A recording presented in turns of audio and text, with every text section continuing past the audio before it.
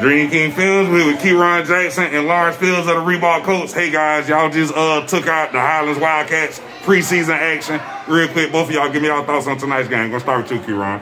Uh, I feel like it was a you know quick and easy game. Pretty went pretty fast, but you know it should be every game like this to be honest. Yes, yes, sir. Give me your thoughts, Lawrence. Oh, we had a good game. You know, we came out kind of slow or whatever, but we ended off with the dub. Yes, sir. Keron, you led all scores with uh nine points. Real quick, talk about your production. Uh, I feel like I can do better, but you know, I don't know. We'll, it'll come. It'll come to me the way.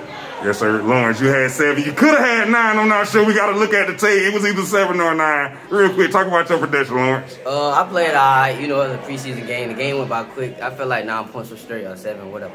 Yes, sir. I feel like you could have lit it up out there, man. You supposed to have about 15 to 16. Why you ain't light it up out there on the Wildcats tonight? Uh, I don't know. I don't know. Yes, sir. Why, why you think your playmaker right here ain't light it up out there, man? Uh, uh, Will, oof, I don't even know. He, he wanna know.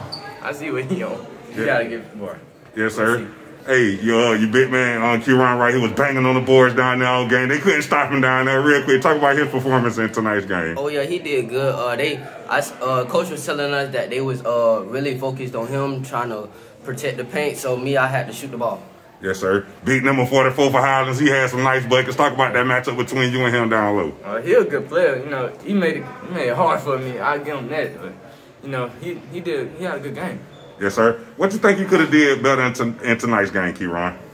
Uh, you know, I could I could took took you know just took my opportunities better than I did. You know, I was trying to pass too much, but you know, Yes, sir. agree. Same question, Lawrence. What you feel you could have did better in tonight's game? Uh, I could have, you know, I could have uh, scored more buckets, passed the ball less. You know, I was trying to play some team ball, whatever, move the ball, but could have scored, uh, got less turnovers, and yeah, that's about it. Yes, sir. Hey, guys. Thanks for talking with me. Good luck to y'all future.